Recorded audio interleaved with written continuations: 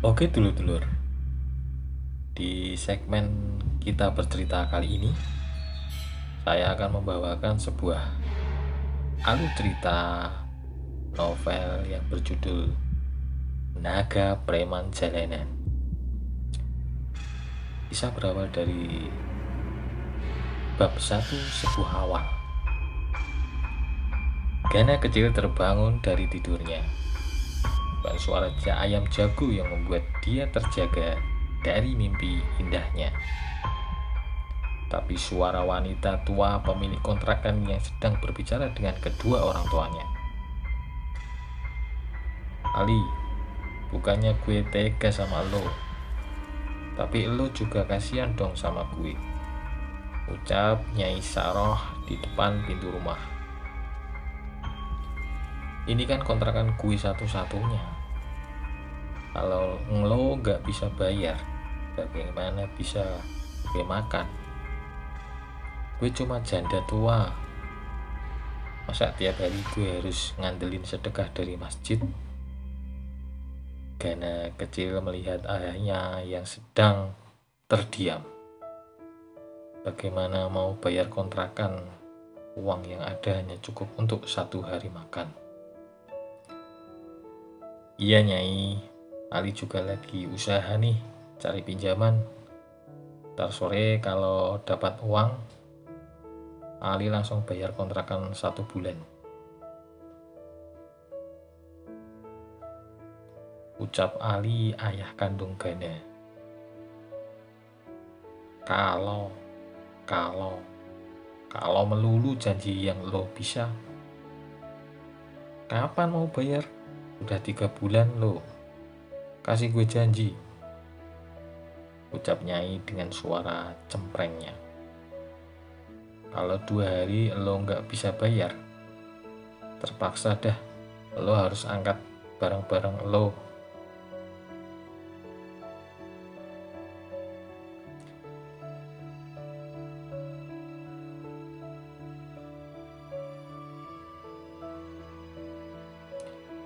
Maimunah, ibu kandung Gana, hanya bisa duduk tersandar dengan lemah. Maimunah terus terbatuk-batuk, sakit asmanya kambuh ketika banyak pikiran, ditambah beban harus membayar uang kontrakan membuat dia semakin tidak berdaya. Nyai, kasih waktu seminggu dah, sebentar lagi Mai udah sehat. Mai mau balik jualan di pasar, ucap Maimunah dengan suara lemah. Gak bisa, Mai. Dua hari lagi ada orang yang mau ngontrak nih rumah. Ucap Nyai Sarah dengan suara iba melihat kondisi Maimunah. Gue bukannya mau ngusir lo, tapi gue udah gak ada pilihan. Biarin dah tiga bulan ini gue ikhlas bulan-bulan kemarin gak perlu dibayar. Nyai Saroh tampak meneteskan air mata saat berjalan dengan perlahan meninggalkan rumah kontrakannya. Satu sisi dia kasihan melihat kondisi keluarga Ali yang memperhatinkan. Tapi satu sisi lain dia juga butuh uang untuk makan. Gan, lu udah bangun? Tanya Ali pada anaknya. Gana mengangguk dan dengan cepat dia berdiri dan berlari untuk mengambil air minum untuk ibunya. Obat ibu, obat ibu habis ya, ucap Gana saat membuka laci kecil tempat menyimpan obat asma untuk Maimunah. Ali hanya bisa terduduk lemas, pasrah, atau sudah menyerah. Mungkin itu yang dia rasakan di hatinya. Karena lo gak usah sekolah dulu dah, ucap, ucap Ali dengan terpaksa mengorbankan pendidikan anak satu-satunya. Ayah punya duit gopek, lo beli dah kantong plastik resek buat lo jual lagi ke emak-emak yang butuh kantong besar di kantong di kam di pasar kebayoran. Gana yang sedang memasukkan beberapa buku ke dalam tas harus membatalkan niatnya untuk bersekolah. Dia harus membantu orang tuanya yang sedang susah. Ayah, hari ini Gana ujian. Gana gak bisa harus jualan ke pasar. Ucap Gana dalam hati. Hati yang berbicara berbeda dengan kata yang diucapkan. Gana masih ada uang upah dari masjid buat jagain sendal jamaah sholat maghrib dan isya kemarin. Bisa buat modal beli kantong untuk jualan hari ini. Ucap Gana dengan senyum. Uang ayah untuk beli obat ibu aja. Nanti hasil jualan Gana hari ini buat bantu ayah biar bisa bayar kontrakan beralaskan sendal jepit yang sudah diikat dengan tali supaya kuat. Gena berangkat ke pasar untuk jualan kantong kresek dan menawarkan jasa untuk membawakan plastik belanjaan emak-emak yang belanja di pasar.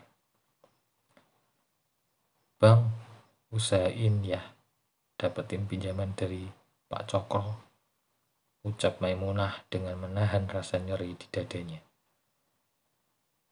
Kasiannya Isaroh, tiap hari harus ngemis di pasar buat bantu kita supaya bisa makan.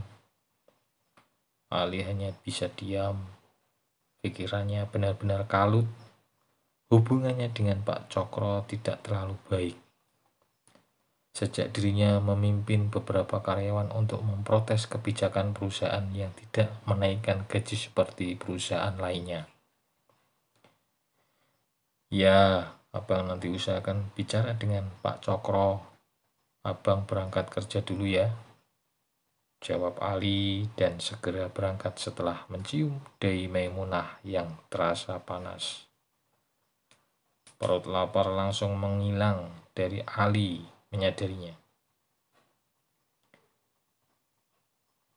Maimunah sedang merasakan demam dan sesak nafasnya.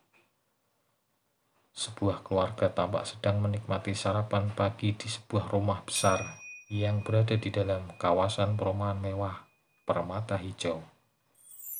Sel, kalau nasi gorengnya tidak enak, ya sudah jangan dimakan. Ucap Cokro kepada Sela Anjani.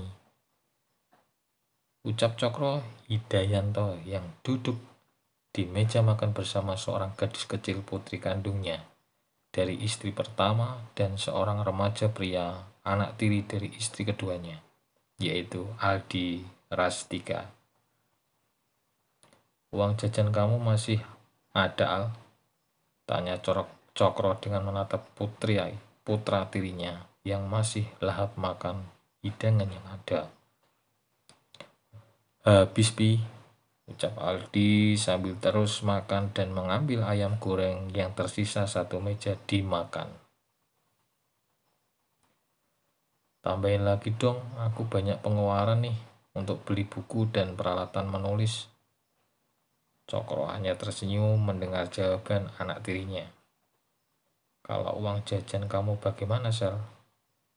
Giliran Sela yang mendapatkan pertanyaan. Masih ada kok, Mungkin belum sempat aku pakai, ucap Sela setelah menyelesaikan makannya. Uang jajan ya buat jajan, nggak perlu disimpan, ucap Aldi dengan makanan masih banyak di mulutnya. Bibi selalu membawakan makanan dari rumah, jadi aku tidak perlu jajan. Ucap Sela ketus mendengar perkataan Aldi yang dianggapnya suatu pemborosan. Buat apa beli buku? Kalau tidak bisa membuatmu pintar. Giliran Sela yang menyindir dengan pedas. Jangan bicara seperti itu dong Sel, kata Mariani ibu kandung Ardi sekaligus ibu tiri Sheila. Selahnya tersenyum sinis. Dia bosan mendengar pembelaan yang dilakukan Mariani untuk Aldi. Papi, pagi ini anterin aku ke pasar kebayoran ya. pinta Sela ke Cokro. Aku mau memborong semua ayam yang ada di sana, biar bisa menghabiskan uang jajanku. Dan Mami Mar bisa merasakan ayam goreng yang sudah dihabiskan oleh anaknya. Adi seketika terbatuk, tersedak, yang mengakibatkan makanan yang ada di mulutnya berhamburan di atas meja makan. Aldi, kamu sudah rakus, jorok pula, ucap Mariani yang langsung pergi dari meja makan karena nafsu makannya hilang. Pasar Kebayoran Lama, sebuah pasar tradisional yang pada masanya merupakan pasar induk untuk sebagian warga Jakarta Selatan dan wilayah pinggir Tangerang. Kue ini biar papi yang bayar, Simpanlah uang jajan kamu untuk keperluan yang lain, ucap Cokro sambil mengeluarkan dompetnya. Kantong kreseknya, Pak, ucap seorang anak penjual kantong kresek di pasar. Gak perlu, belanjaan kami tidak banyak, ucap Cokro. Mau aku bawakan belanjaannya, Pak? Ucap anak itu tidak nyerah. Cokro menarik napas panjang lalu berkata, Saya sudah bilang, pelan belanjaan saya tidak banyak. Saya tidak perlu bantuan kamu. Ucap Cokro tegas, sedikit kesal, karena anak penjual kantong ini sudah sangat mengganggu. Anak penjual kantong itu tampak tersenyum. Tidak ada rasa takut di wajahnya. Kalau tidak mau ya nggak apa-apa pak, jawabnya. Tidak usah pakai marah-marah segala, kata anak itu lagi sambil melihat ke arah kue yang beraroma vanila. Brengsek, kurang ajar banget nih anak. Maki cokro dalam hati. Sela melihat anak penjual kantong kresek terlihat lapar dari caranya dia memandang kue hangat yang baru matang. Anak itu tampak menelan air liur dan menekan perutnya. Ini buat kamu, ucap Sela memberikan dua bungkus kue yang masih hangat. Aku beli, aku beli terlalu banyak nih. Sayang kalau tidak habis termakan. Anak penjual kantong itu gak ragu ditambah wajah Cokro yang sudah kesal karena ulahnya. Ambillah, aku ikhlas kok, ucap Sela yang langsung meletakkan kue vanila di telapak tangan si anak penjual kantong kresek yang diam tidak bisa bicara apa-apa lagi. Ayo Pi, aku takut telat masuk sekolah. Kalau terlalu lama, ucap Sela menarik tangan Cokro Cokro pun yang awalnya kesal berubah menjadi bangga atas kebaikan hati putri kandungnya. Mengingatkan akan kebaikan hati milik mendiang istri pertamanya. Pak, pak, bapak baju biru, panggil si anak penjual kantong yang tampak berlari mengejar Cokro yang hendak masuk ke dalam mobil. Kurang ajar nih bocah. Udah dibagi, masih aja merasa kurang. Ucap Cokro dalam hati. Apalagi, kamu kan sudah dapat dua potong kue. Masih kurang apa? Bentak Cokro yang sudah tidak tahan dengan emosinya. Enggak pak, sudah cukup. Ucap si anak penjual kantong dengan menek menatap ke arah Sela. Ayah ingin mengucapkan terima kasih kepada anak bapak dan ucapan si anak penjual kantong terputus karena Cokro mendorongnya dengan keras. Jangan dekat-dekat anak saya kamu, ucap Cokro dengan berteriak. Semua mata orang-orang di pasar yang tadinya sibuk dengan belanjaan dan dagangannya beralih memandang ke Cokro. Maaf pak, tadi dompet bapak terjatuh. Ucap si anak yang tidak menyangka akan diperlakukan kasar oleh orang dewasa yang berpenampilan seperti orang kaya. Aku hanya mau mengembalikan dompet Bapak dan mengucapkan terima kasih. Permisi. Hei anak baik, panggil Sela yang merasa tidak enak karena papinya telah salah paham. Kenapa kamu mengembalikan dompet papi aku? Kamu kan bisa makan enak kalau mengambilnya.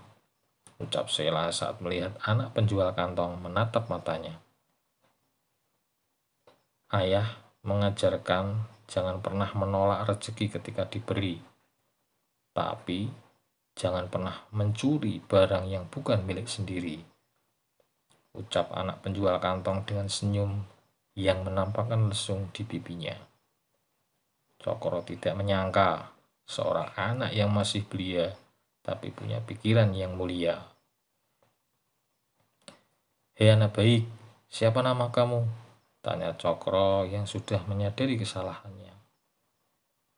Anak penjual kantong itu tersenyum kembali dengan menunjukkan lesung pipinya. Lalu dia menjawab, Namaku Gana. Gana Abdul Gana. Oke sobat, kita lanjut ke part berikutnya di video selanjutnya.